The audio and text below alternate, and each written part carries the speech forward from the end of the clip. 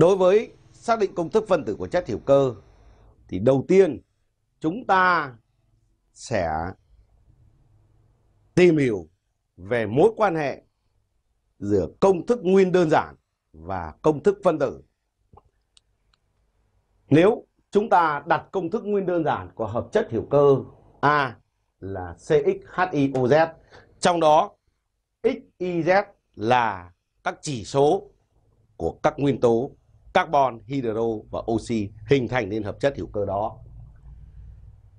Vậy vấn đề đặt ra là chúng ta phải tìm X, tìm Y và tìm Z. Thì phải thông qua định lượng các nguyên tố carbon, hydro và oxy. Cũng có thể chúng ta sẽ tìm số mol của carbon, số mol hydro và số mol oxy.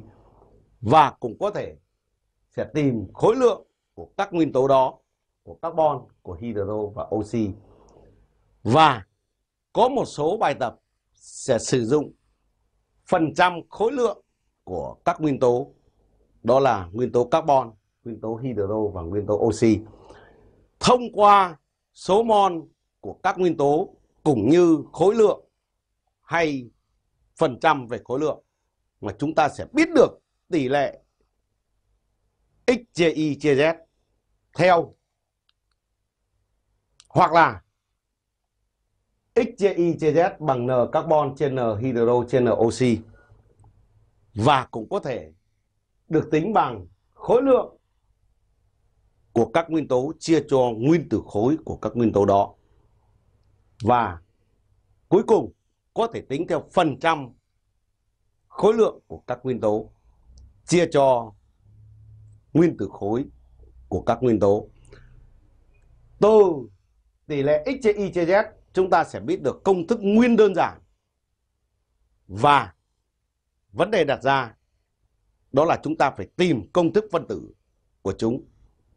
Muốn tìm công thức phân tử, bắt buộc chúng ta phải tìm thông qua công thức nguyên đơn giản và từ công thức nguyên đơn giản dựa vào dựa vào yếu tố nào? Đó là chúng ta dựa vào phân tử khối của hợp chất hữu cơ A và chúng ta đặt công thức phân tử của hợp chất hữu cơ đó là CXHIOZ tất cả n lần, trong đó n thuộc số nguyên dương ta sẽ có m lớn của A sẽ bằng 12x cộng y cộng 16z tất cả nhân n và từ đó chúng ta sẽ tìm ra được n. Chúng ta sẽ hình thành nên được công thức phân tử của hợp chất hữu cơ.